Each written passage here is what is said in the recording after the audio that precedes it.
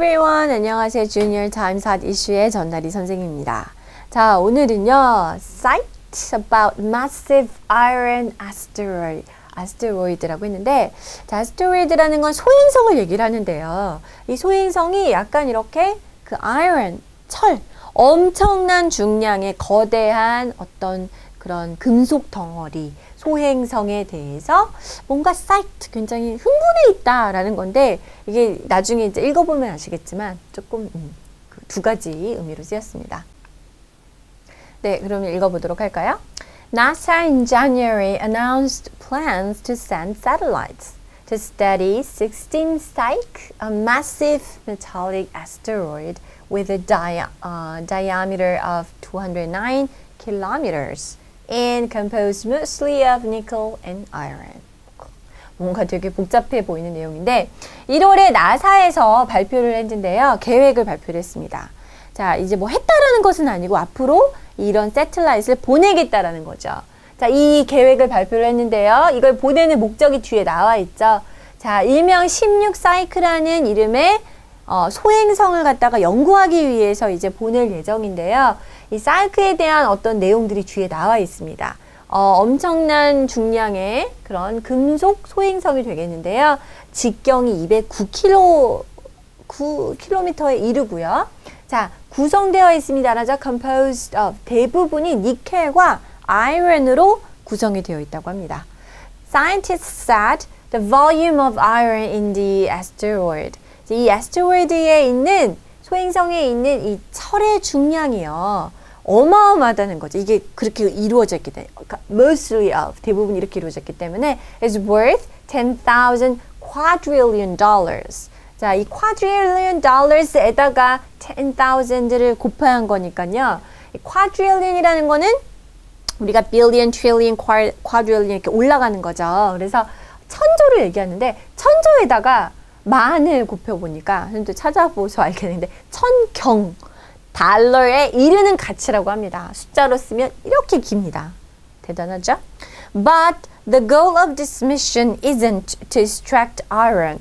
그러면 이 어마어마한 가치의 철 광산이 있기 때문에 이거를 갖다가 뽑아오는 거구나 라고 생각할 수 있는데요. 이번 미션의 목표는 단순히 아이언을 추출하는 것이 아닙니다. 16 Sykes composition is similar to that of the Earth core.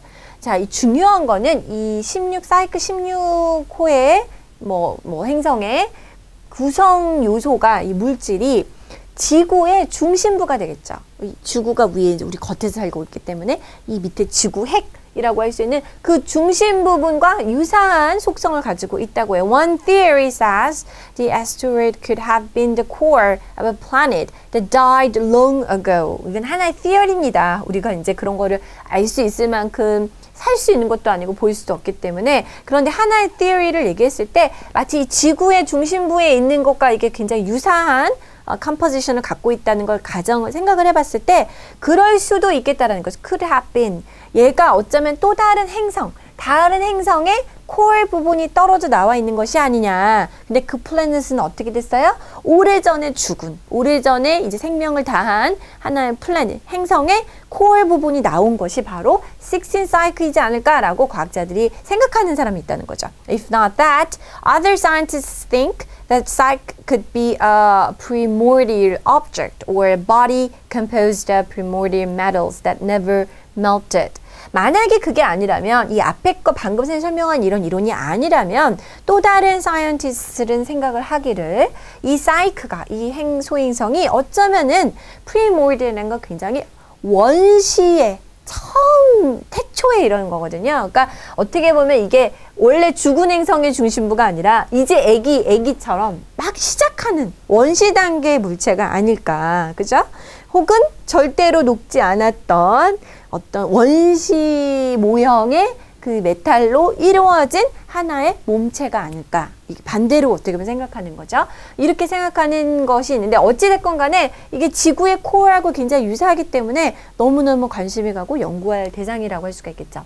The discoveries made by this mission could help scientists better understand the formation of planets and how they separate into different layers. 자, 이번 미션을 통해서 이제 발견을 하게 되면 여러 가지를 알게 된다면 이것이 과학자들로 하여금 다 더 잘 이해할 수 있게 도와주게 될 것이다 라는 것이 이제 이 미션에 굉장히 기대하는 바인 것이죠. 무엇을 이해할 수 있게 도와줄까요?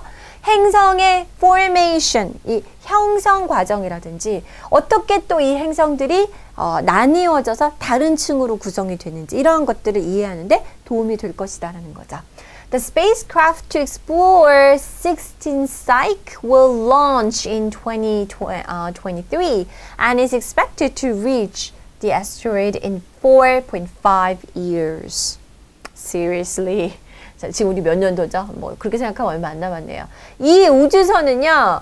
자, 16 사이클 16호를 이제 그 탐사하러 갈 건데 이거를 갈 이 우주선이 되게 이게 주어 덩어리가 되겠죠? 2023년도에 런치를 발사를 한다고 해요. 그리고 열심히 열심히 날아서 가면 4.5년 후에 그죠? 4년 하고 뭐 6개월 정도가 되겠죠? 이후에 그 에스테로이드의 그 소행성에 도달할 것으로 기대하고 있다고 합니다. 자, 그러면은 음, 2027년 하고 중간쯤에 우리가 이 결과를 알 수가 있겠네. 그때까지 우리 계속 어, 기사를 한다면 핫 이슈에서 다뤄볼 수가 있겠죠? Okay, this is all for today. I'll see you next time. Bye bye.